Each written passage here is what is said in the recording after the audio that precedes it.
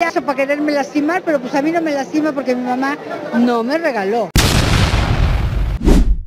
Dos mujeres, un camino, pero no por un hombre. No, no, no, no, no, mi cielita, sino por los pleitos por crianza, por la mamá.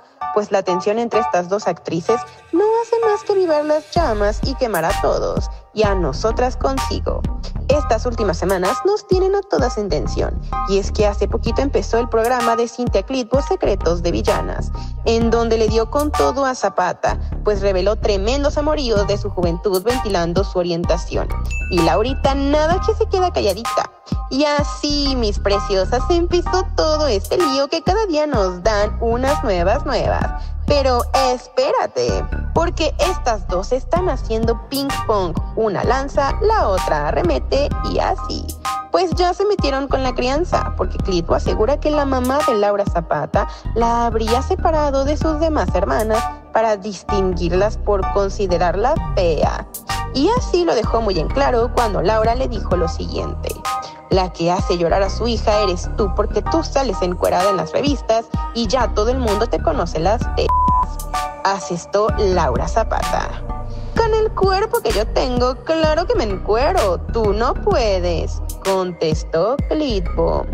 Pero yo en mis tiempos trató de responder Zapata, pero se vio interrumpida por Cintia, quien la llamó fea. Cabe recordar que Cintia acusó a Laura de haber sido regalada por su madre Yolanda Miranda, lo que provocó una dura respuesta por parte de la actriz. O sea, se la regalas al coco, se la regalas a un desconocido. Mi mamá me dejó con mi, con mi abuela para protegerme.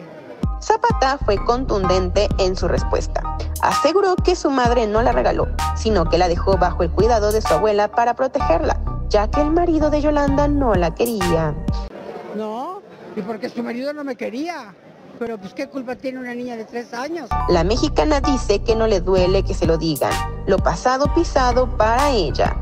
Yo nunca he dicho, ustedes me han oído decir, mi mamá me regaló. Entonces ella hizo para quererme lastimar, pero pues a mí no me lastima porque mi mamá no me regaló. Y luego contraatacó mencionando que fue Cintia quien en el reality Secretos de Villanas afirmó haber sido vendida por su propia madre.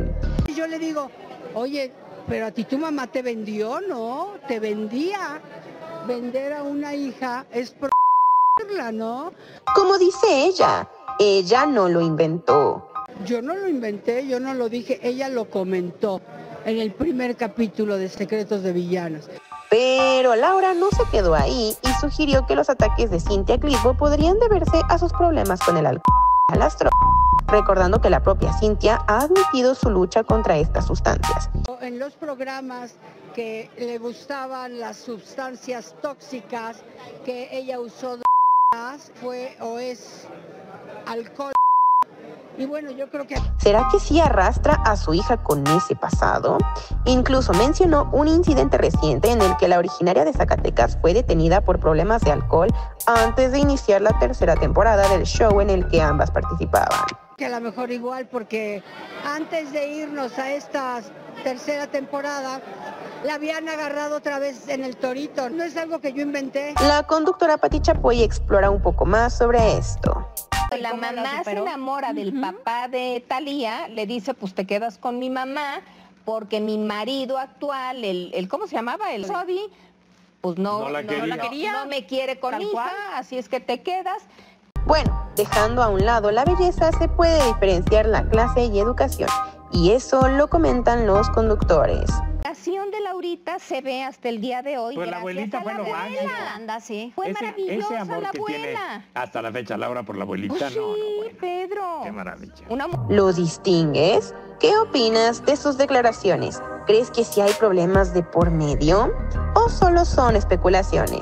Deja tu likecito si te gustó el chismecito. Recuerda que puedes seguirnos en la red de la notita musical. Subimos los videitos también ahí. Nos vemos.